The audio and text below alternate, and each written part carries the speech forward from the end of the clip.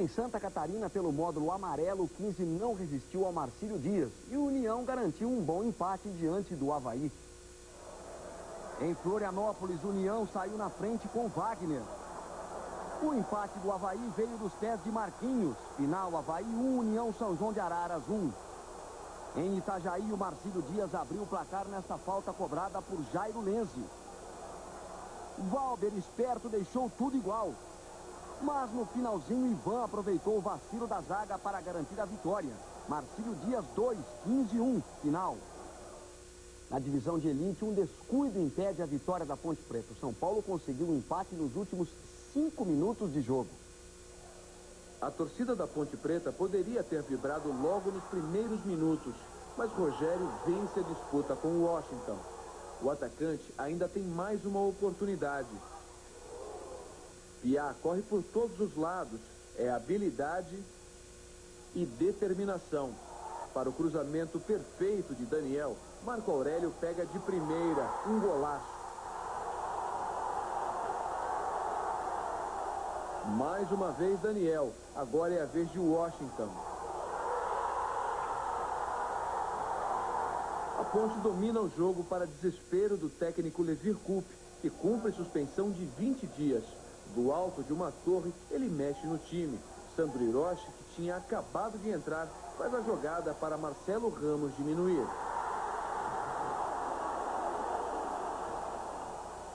Um contra-ataque e a ponte amplia com Macedo.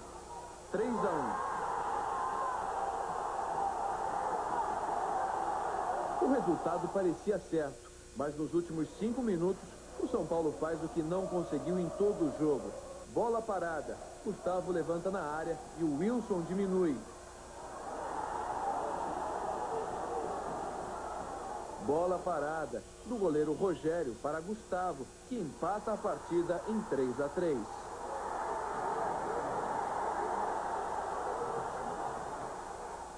No final, o Gustavo estava do meu lado, disse que ia tentar direto, disse, olha, direto não entra, o ângulo está desfavorável.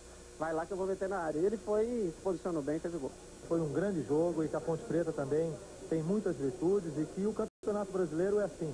Nós não podemos é abaixar a cabeça e saber que nós temos força, nós temos condição para recuperar. A seleção sub-23 do Brasil estreou com vitória hoje nas Olimpíadas, 3 a 1 em cima da Eslováquia. A Eslováquia saiu na frente depois da boa jogada de Slavor. O jogador Paradzic abre o placar chutando no canto direito de Elton, 1 a 0. O empate do Brasil. Alex tocou para Edu, que dominou no peito e chutou no cantinho. Tudo igual, 1 a 1. Na etapa final, o Brasil fez o segundo. Edu lançou Fábio Aurélio, que mesmo sem ângulo, bateu 2 a 1 para o Brasil. E o terceiro da seleção brasileira já veio no finalzinho da partida. Depois do cruzamento de Mozart, Alex completou. Final, Brasil 3, Eslováquia 1. E pouca gente se animou para assistir a estreia da seleção masculina de futebol nas Olimpíadas em Campinas. Só mesmo quem tinha que acordar bem cedo acompanhou parte do jogo. No lugar da cerveja e do aperitivo, café com leite e pão com manteiga. A estreia da seleção brasileira nas Olimpíadas às 6 horas da manhã não foi um bom motivo para o campineiro sair da cama mais cedo. Nesta padaria no bairro Taquaral, os clientes de passagem não estavam muito animados. Difícil acompanhar, né? É, compor isso daí com as atividades do, do, dia a dia da gente, né? O fuso horário atrapalha um pouquinho, né? Eu acho muito ruim. Não estou acompanhando nada. Já acostumado a acordar cedo para malhar na academia, este grupo uniu o útil ao agradável. Para mim fica mais ou menos fácil, que eu sempre estou aqui essa hora, então dá para assistir o jogo.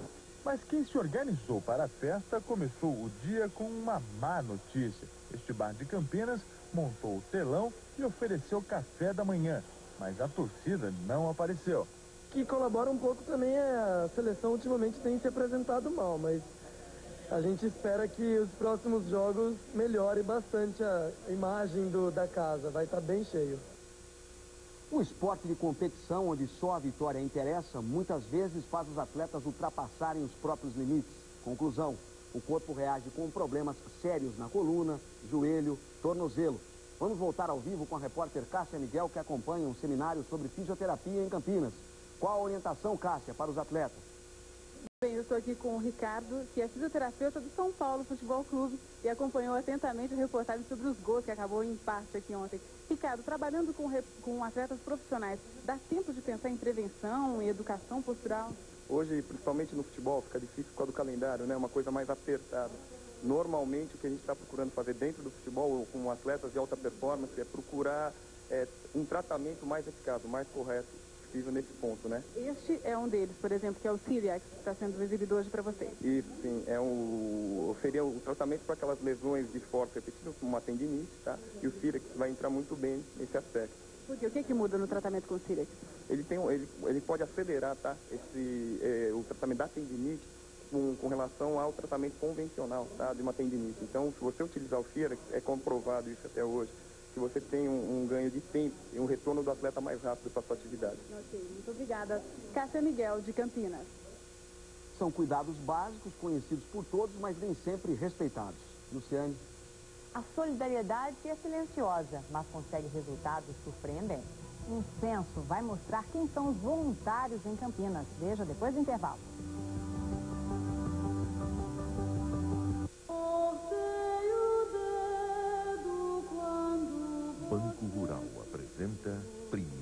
Ato Grupo de Dança, com o espetáculo Beijo, nos olhos, na alma, na carne.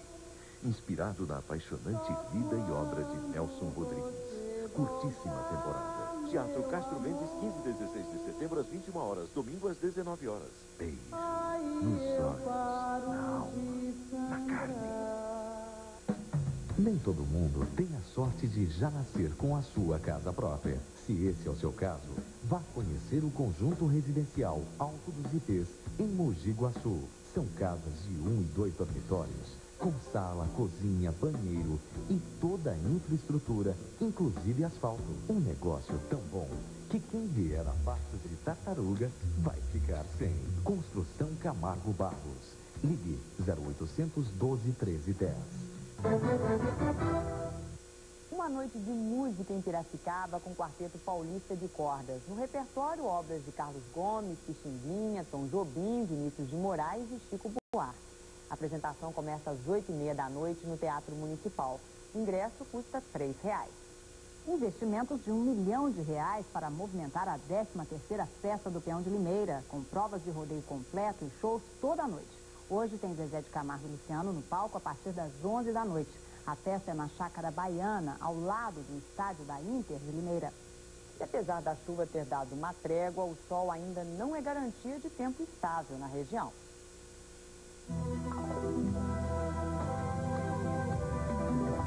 A nebulosidade continua com curtos intervalos de sol. No final da tarde, pode voltar a chover fraco em algumas cidades. A temperatura não muda muito.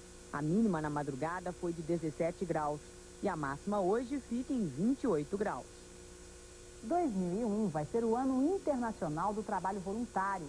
E para mapear os anônimos que atuam em instituições de Campinas, a FEAC está realizando um censo. A pesquisa é inédita no país. Começou com algumas visitas, virou trabalho voluntário. As crianças do abrigo, afastadas das famílias por maus tratos, conquistaram Rosimeire, uma dona de casa, mãe de três filhos. A gente não vê a hora que chega o dia da gente aqui. Você, você, procura, você procura na folhinha, vamos dizer assim, o dia de, de você fazer esse seu trabalho voluntário. Voluntariado para Rosimeire é um compromisso sério. Toda terça-feira, das 8 às 11 e meia da manhã, as crianças do abrigo têm a companhia da tia Rose. É carinho para as crianças e uma ajuda extra para os funcionários. Eles vêm trazendo o seu talento, a sua, a sua, o seu amor, né? Eles colaboram nas atividades com as crianças, é, é, ensinando, na educação, que nós precisamos preparar essas crianças para viverem em comunidade depois. Cada um colabora como pode. Os funcionários de uma empresa de informática dão curso de computação de graça e ainda colocam o currículo da turma na homepage. Mais um exemplo de como talento e experiência profissional também podem ser doados. Agora a SEAC quer saber quantas e quais são as pessoas que fazem trabalho voluntário em Campinas. É o primeiro censo deste tipo no país. A SEAC quer tirar do anonimato pessoas que dedicam algum tempo da vida para a vida dos outros. A gente espera que cada vez mais as pessoas percebam que existem oportunidades e que é preciso que a gente se envolva junto à comunidade. Como deve ser o voluntário? Voluntário deve ser uma pessoa que olha para si e para o outro e percebe que esse olhar micro e macro é que vai me dar um colorido na vida, na vida das pessoas e na minha vida. Quem quiser ter mais informações sobre o voluntariado, pode ligar para o 3794-3519. O DDD é o 19. Ou então pelo e-mail voluntecontemudo.cac.org.br. Uma boa tarde. Uma boa tarde e até amanhã. Jornal Regional, primeira edição. Oferecimento Drogão. Saúde por completo.